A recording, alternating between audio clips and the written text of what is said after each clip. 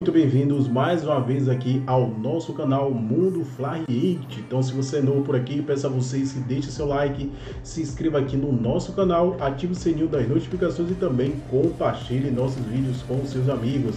Que assim você irá nos ajudar a trazer conteúdos diários para vocês. Sentindo essas dores no pubis desde a temporada passada e agora ainda tem essa lesão de adutor cada vez mais esses problemas físicos vão atrapalhando também o futebol do uruguaio. Que Furi, boa noite. Sim, boa noite, Marcela. Boa noite, Felipe, Gustavo. Uma ótima noite a todos.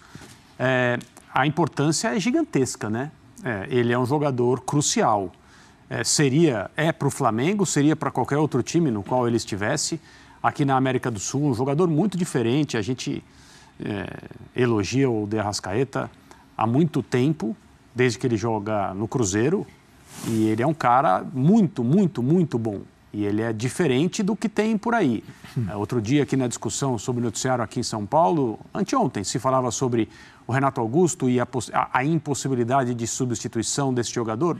Também não há uma substituição para o De Arrascaeta no elenco do Flamengo, nem aí, se alguém procurar, mesmo com bastante bala, vai ser muito difícil encontrar. E ele vem sofrendo com essa questão de dores no pubis, aí mais recentemente um problema muscular. E a questão do pubis não é nova, né? Na segunda parte da temporada do ano passado, ele já era um jogador limitado em treinamento e em jogos por causa ah. disso.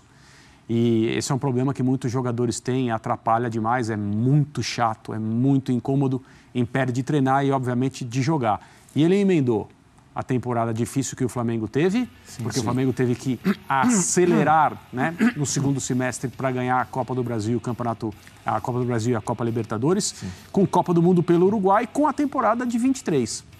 E até agora ele tem conseguido levar. A gente vê o Arrascaeta jogar e a gente não percebe que ele está tão limitado por uma questão de dor, etc e tal. Mas ele inspira cuidados por ser quem é e pela situação que ele enfrenta mas a importância dele é absolutamente gigante.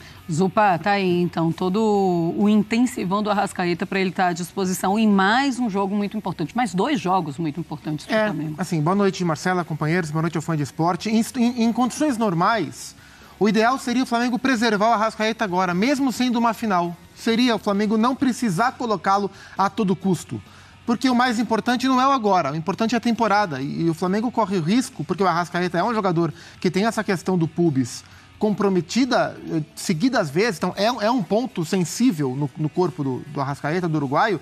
Então não era para o Campeonato Carioca ser um, um momento de, de, você pensar em colocá-lo no limite ou não. Ah. Mas como a temporada transformou o Campeonato Carioca numa Champions League para o Flamengo, devido ao fracasso nas competições anteriores, o Arrascaeta virou uma peça importante. E, e aí tem outro ponto é, sobre o Arrascaeta, porque assim, antes da, da atual temporada, ele era, sempre foi tratado como um jogador indispensável, mas tinha ao lado dele, o time tinha mais jogadores parecidos com ele para tentar jogar. O Everton Ribeiro era titular do Flamengo, o time jogava com mais, mais gente à frente. A partir do momento em que o Vitor Pereira é, determina que para esse instante da temporada o Flamengo não comporta dois jogadores criativos, o Flamengo passa a depender ainda mais do Arrascaeta. Então, assim, para um time que tem um meia só, né, com essa característica jogando, e esse meia está limitado, é um problema ainda maior. Se fosse o Flamengo que jogasse com um quarteto, todo mundo livre, leve e solto, perambulando com a bola, aquele show maravilhoso, é, ele sempre foi um cara indispensável, mas seria menos traumático pensar em perdê-lo. Para esse Flamengo, que já não é organizado ofensivamente, já não é um time tão forte ofensivamente quanto a qualidade dos jogadores sugere, e que tem um meia só, porque o técnico precisou montar um time competitivo mais do que brilhante, pensar na limitação do Arrascaeta é pensar em aumentar os problemas do Flamengo. Sim. Ele fez um grande jogo no ano, um, que foi o jogo em que ele teve liberdade para jogar, quando o Barbieri não é, tirou o Rodrigo da marcação do Arrascaeta. No mais, ele tem um ano bem abaixo, um começo de ano bem abaixo do que ele é.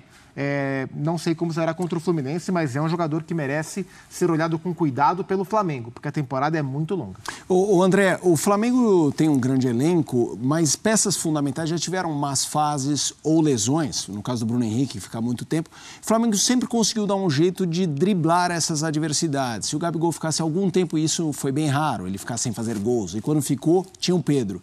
É, o Arrascaeta é a é a prova definitiva? É, é, o jogador que o Flamengo vai ter. Porque isso não, já ficou sem ele, mas por fatias muito pequenas. E quando ficou sem ele, inclusive na final da Libertadores do Palmeiras, que ele jogou baleado, a gente viu a falta que ah. fez ele estar 70%. Você acha que isso é definitivo? Os outros deu para dar uma driblada, uma maquiada é, e ele talvez Renato não seja possível? sente muito isso. Lembra quando o Renato ficou sem o, o Arrascaeta? Foi quando caiu. O Flamengo quando cai. É. Exatamente. É, a gente sempre, quando fala dessa época, precisa lembrar que hoje se sabe o que acontecia no departamento médico do Flamengo naquele período, Sim. com os jogadores que tinham lesões e não se recuperavam, e demoravam é. muito para voltar ao gramado. E a gente não está aqui para é, defender nem atacar ninguém em pesos diferentes, mas a leitura sobre o que aconteceu com o time do Renato Gaúcho, que depois daquela derrota na final da Libertadores deixou o Flamengo, era uma naquele momento e tem que ser outra a partir é, das informações que se tem sobre o estado de coisas, principalmente no departamento médico, que era uma coisa incompatível com um clube é, do porte e das ambições do Flamengo. Mas tudo isso colocado, o problema com a substituição do Derrascaeta é que não há um jogador com algumas, que, que reúna algumas das características dele. Você não pega o pacote se tivesse um jovem na base do Flamengo que jogasse de forma semelhante, você poderia investir nesse jogador, dar a ele mais tempo, enchê-lo de confiança e acreditar que um dia ele poderia assumir esse lugar. Mas não tem. É, e não tem em outros lugares também. Ele é muito. É, é, é um jogador muito peculiar.